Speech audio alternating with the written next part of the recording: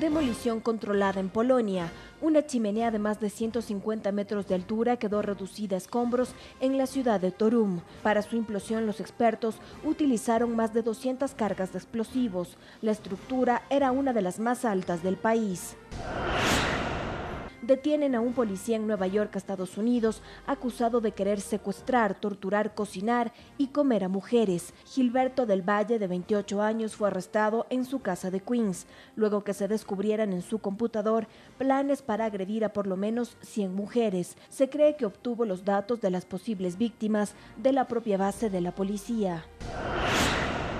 14 inmigrantes murieron y otros 17 fueron rescatados con vida al intentar ingresar a España luego que una pequeña embarcación proveniente de África naufragara. Estudiante de Brasil vendió su virginidad a un japonés por 780 mil dólares en una subasta en Internet.